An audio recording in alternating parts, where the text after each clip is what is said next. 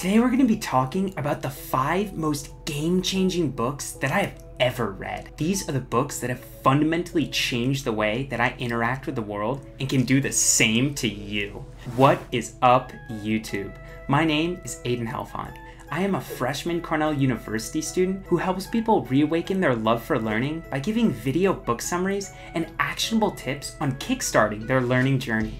Over the past year and a half, I have read a lot of books, from things like The Psychology of Persuasion by Robert D. Cialdini to The Stormlight Archives by Brandon Sanderson. I have gone through many genres and many different topics, and after a lot of thought, have come up with the five greatest lessons I have learned from my favorite books. The first lesson is from a book called Make It Stick by Peter C. Brown. In this book, I learned the idea of spaced repetition. Spaced repetition is the act of repeatedly exposing ourselves to information over periods of time to solidify it into our memory. Science shows that this works with something called the forgetting curve. The forgetting curve is a curve that states the first time we learn something, it actually doesn't remain in our heads for that long, only about a day. Once we learn it again through active recall, it goes for longer and longer, going from one day to three to a week and even months to years. This has allowed me to spend vastly less time studying at Cornell as I study for exams two months before they actually happen.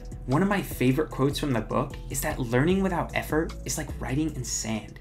Here today, and gone tomorrow. The second lesson I learned is from a book called Show Your Work by Austin Kleon. In this book, I learned the importance of showing what you're learning in some way. This can be through podcasts, YouTube, blogging, it doesn't matter. The reason this is so important is because it helps you develop a community and lets you elaborate on what you learn. In addition, it lets you document your learning process and opens you up to increased opportunities. This is something I call crafted luck. Technically, it's lucky if something good happens to you, but by exposing yourself to the internet through showing your work, you increase the chances that stuff like this happens. One of my favorite quotes from the book is that creativity is always, in some sense, a collaboration, the result of a mind connected to other minds. The third lesson I learned is from a book called Happy by Derren Brown. In this book, I learned the importance of doing what is inside of your control so you don't become depressed. If we think about it, there's only two things inside of our control our reactions to thoughts and our actions. That is it.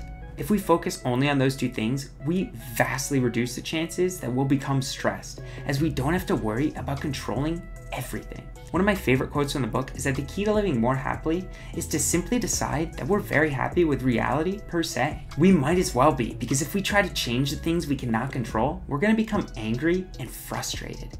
The fourth lesson I learned is from a book called Getting Things Done by David Allen. In this book, I learned the importance of clarifying what doing looks like and also figuring out why we're doing something in the first place. We often procrastinate because we don't know what doing even looks like, and we don't know why we're doing the things we're procrastinating on. This book allowed me to develop a task management system which lets me be so much more productive with my day. And when I say productivity, I mean doing things that I actually enjoy doing not just getting things on a to do list done. One of my favorite quotes in the book is if there's no good reason to be doing something, it's not worth doing.